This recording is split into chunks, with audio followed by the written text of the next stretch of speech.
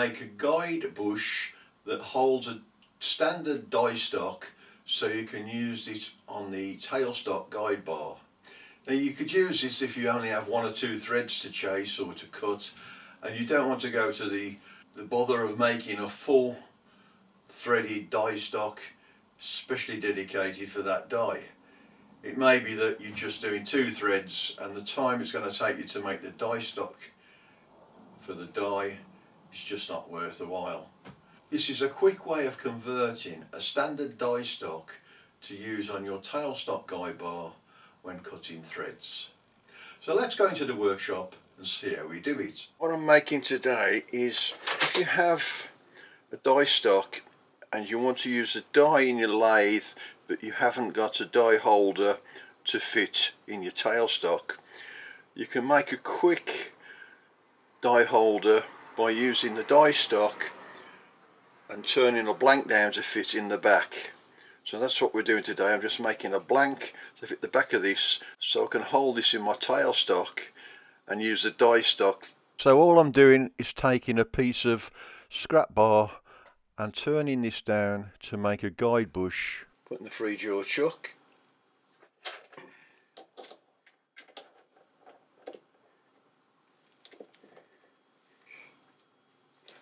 And the first job is to face off the front.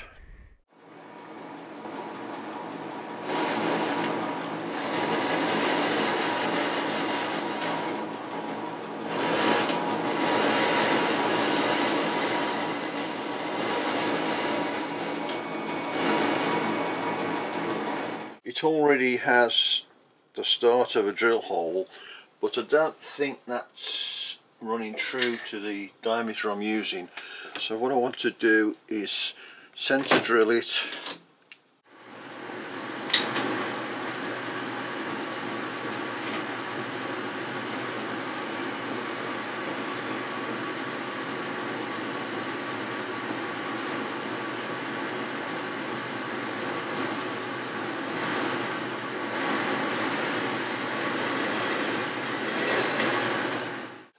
to do is machine a three quarter inch bore in there. At the moment I'm just using drills to bring it up to about half inch.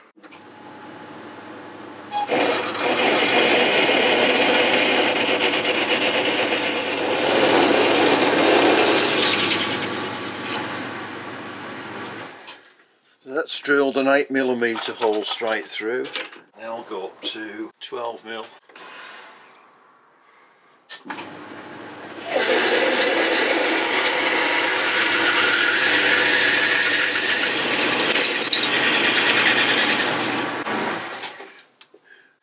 can fit my boring bar to bore the hole out to three quarters.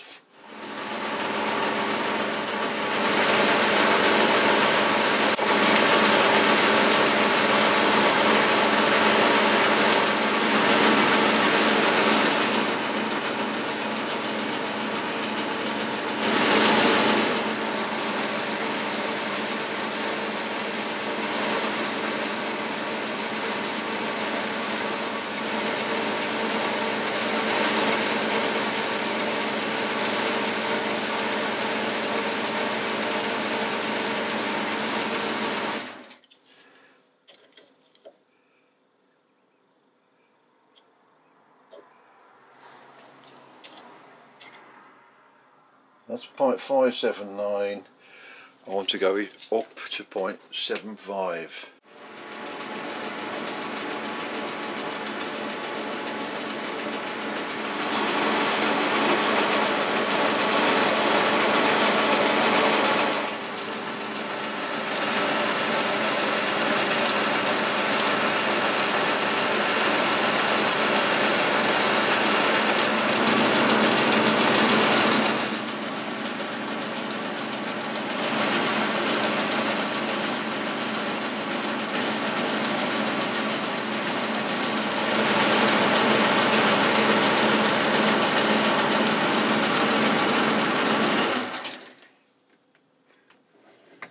should be less than 10 now in the boat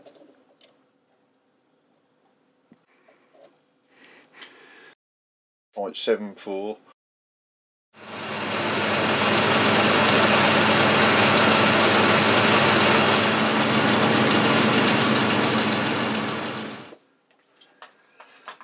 So I'll just check the bar. Oh, it's just going. That'll do. So the bore's to size and the, the face is running true. So the next thing I need to do is face some more off to reduce the length of this and then just skim the OD to get this running true.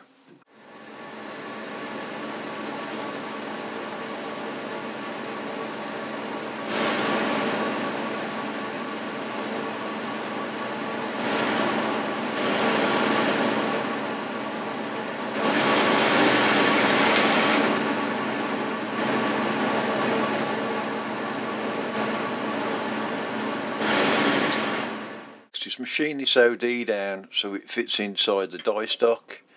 It's just a little bigger and it just needs to be shorter than the distance inside so that it's touching the back of the face rather than the die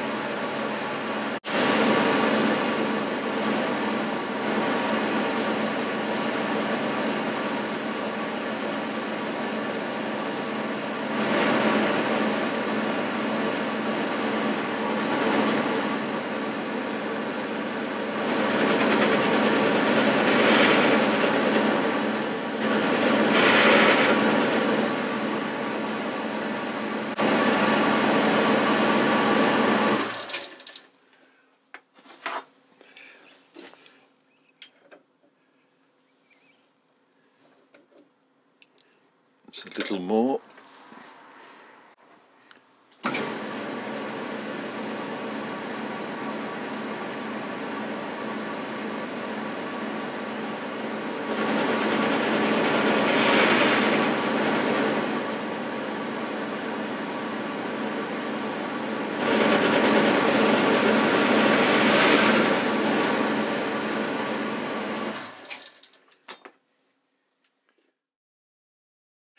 That's okay. Now with a small file I'm just going to take the sharp edges off the outside and the inside.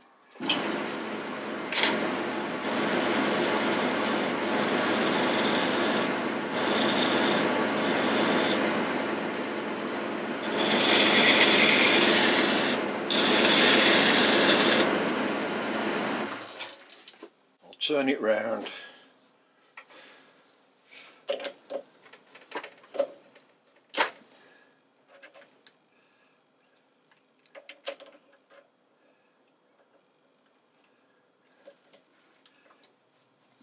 all I want to do on this side is just face it off.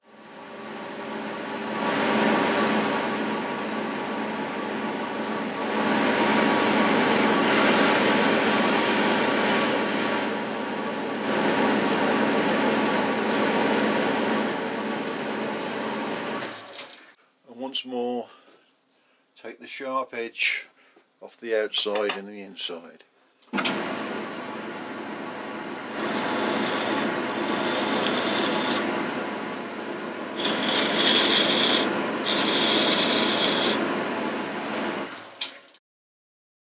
So this piece was just a piece of scrap. So now it can be used to hold the die and this side can be used for another die if you have a different size one. First of all, fit in the tailstock the guide bar, which is just a three quarter inch bar with a Morse taper on the end. This is the one that I used before. And as you see, the die that I want is that size where this one is only a small die stock. But because I'm only going to use this once or twice I don't really want to go to the trouble of making a bigger die stock. So the bush fits in the back of the die stock and then that fits onto your guide bar so now you can use a standard die stock on your guide bar for cutting a thread. And if you have a smaller die stock you can always cut another guide on this side. So you turn it round and you could use two different size die stocks on the same guide bar. And that's just using a scrap of steel that fits on your existing die stock holder. And I've just placed a bolt in the chuck. I fitted my hand wheel to the back of the headstock. So I can just bring the die stock forward lock the tailstock turn the headstock. Once it engages all I have to do is keep feeding the tailstock forward as the die travels along Once you're finished, just reverse.